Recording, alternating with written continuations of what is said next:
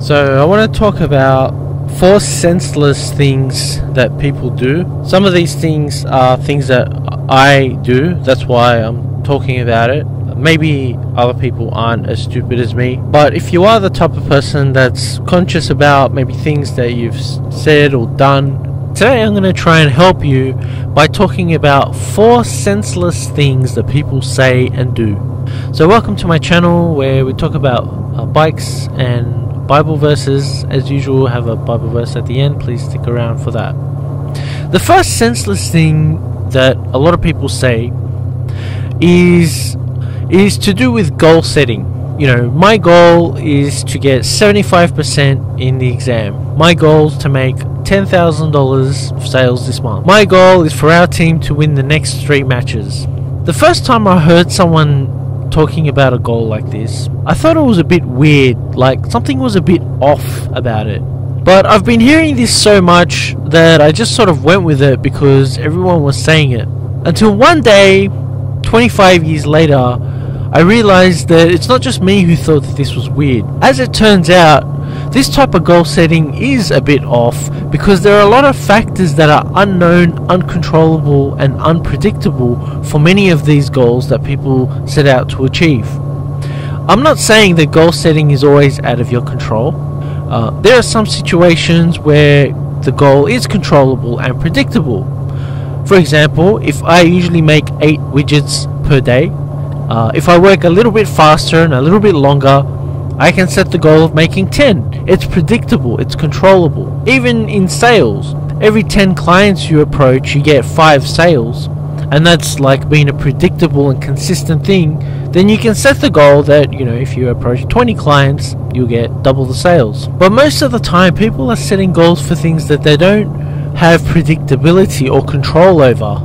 Test marks, um, sporting match results, that's why sports gambling exists, it's because it's so unpredictable. So instead of setting goals based on a result, why don't you set the goal based on a behavior or a process? You know, if you're failing at school, set the goal to study three hours a day. If your team is losing, aim to train three times a week. YouTube is going bad, seek an alternative approach. Setting a process makes a lot more sense and gives you a lot more motivation since you know your work is all cut out for you you know exactly what you need to do rather than just trying to set some random result the second senseless thing that a lot of people do is they follow the sheep on misguided advice and they suppress their own true thoughts and feelings there was this like really good video made by Film Booth. You know, he's very knowledgeable and he's got great advice. He made this, you know, he made this one video about to get the YouTube algorithm to favor you more. While he was making this video, he had this B plot going on in the background. It was about how he was going to his friend's wedding and washing his car, even though the main video was about like retention advice. What annoyed me was that everyone, including himself, was glorifying and attri- attributing the success of the video because of this storyline, this B plot. And, you know, the crowd was following this suggestion mindlessly. But when I stopped and listened to my own feelings, I personally found that the car wash storyline was a bit distracting and annoying. If I wanted to click off the video, it was because of this B plot of the car wash um, and him going to his friend's wedding. It was just background noise that I had to troll through to get through what I really wanted, which was the actual points he was making about how to get better results with the YouTube algorithm. I think the video was successful because I was interested in hearing his points, and the B plot that he had there was actually a hurdle for me. Everyone said that the B plot made the video successful, and everyone believed it. Probably because, like, you know, it was a novel idea, which it was. But I don't think it, what everyone was saying was actually true.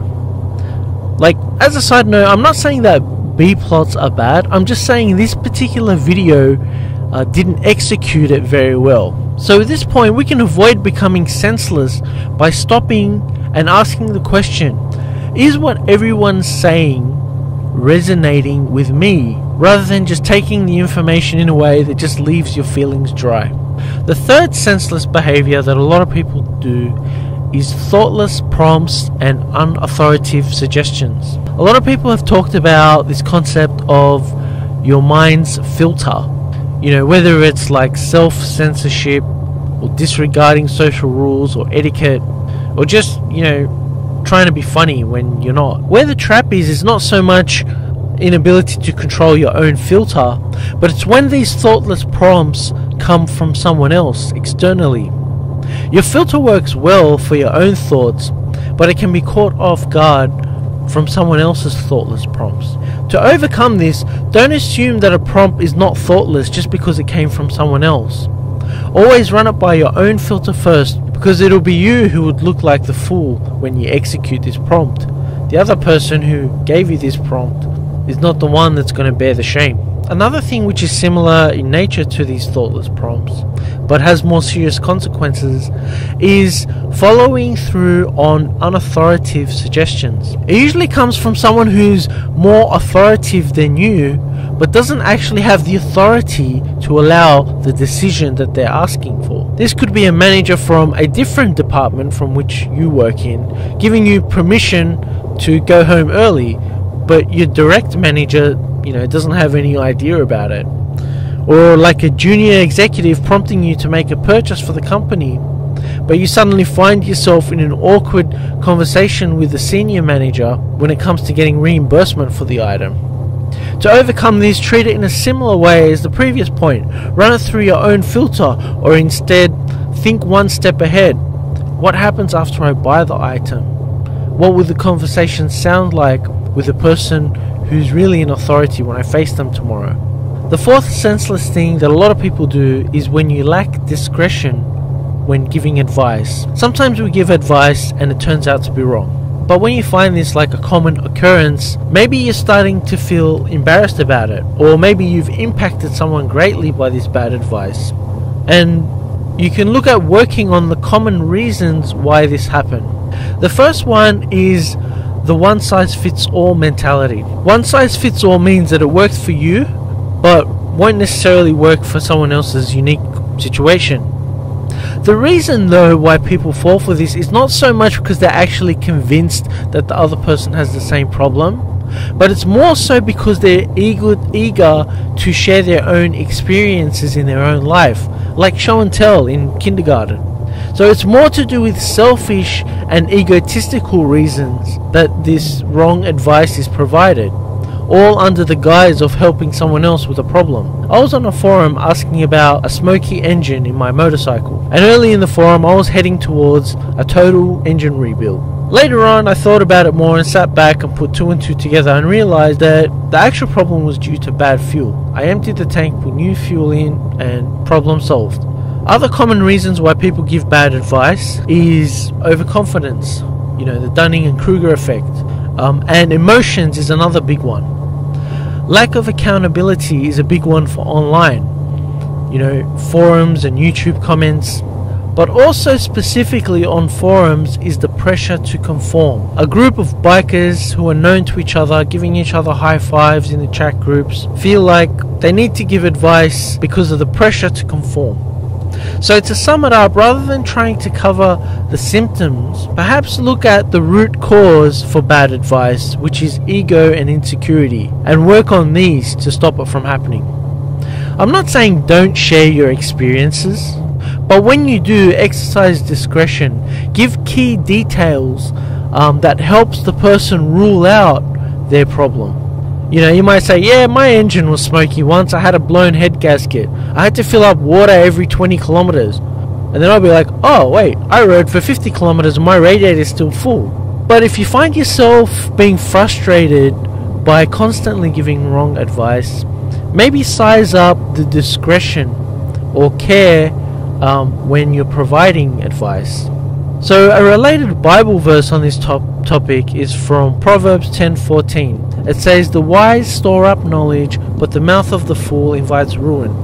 Other translations say that the wise holds their tongue and the fool blurts out everything.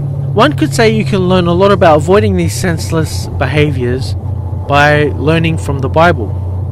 The problem is, is that there are much more powerful forces that work to make you say these senseless things. You know on the surface level that it's wrong, but when it comes to the time, it's ego and insecurity that make you do it in the heat of the moment. This is another aspect that when you're living a life following Jesus, it heals you from. So it's things like ego and insecurity that'll help you to stop saying or doing things that are senseless.